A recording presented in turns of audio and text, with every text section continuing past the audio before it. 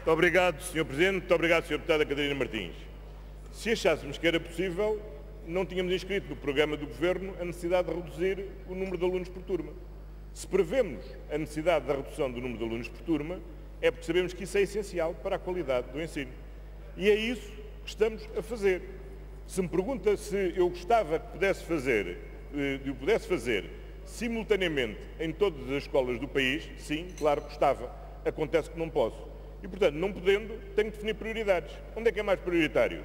Onde é mais prioritário? Onde é necessário fazer um esforço acrescido para corrigir a desigualdade de partida, a, desigualdade de origem e para criar melhores condições para a igualdade de oportunidades. Naquelas zonas onde temos maior insucesso escolar, naquelas zonas onde temos maior abandono escolar. E é por isso que começamos nos tapes, porque é aí que é prioritário começar um caminho que temos depois de prosseguir e ir alargando ao conjunto das escolas, porque todas as escolas devem ter, obviamente, as mesmas condições. Também não temos nenhuma divergência. E esse consenso que existe nesta Assembleia, ainda bem que existe, é um consenso que o Governo não se aparta.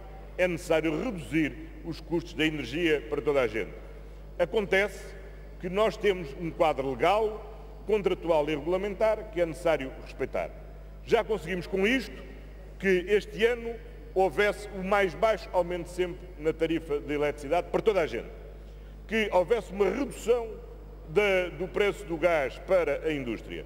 E esperamos que continue a ter essa promoção. E foi pela mesma razão que, ao contrário do que o anterior governo tinha, se tinha comprometido, nós não acabamos com a contribuição extraordinária do setor da energia e mantivemos essa contribuição extraordinária do setor da energia, porque não estamos satisfeitos com o quadro que hoje, eh, regulatório que existe, nem com aquilo que é a contribuição que têm.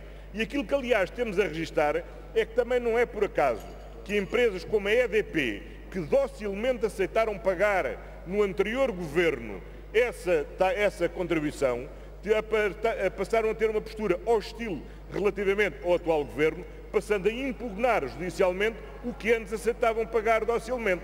Agora, por alguma razão havia docilidade e por alguma razão também agora há hostilidade.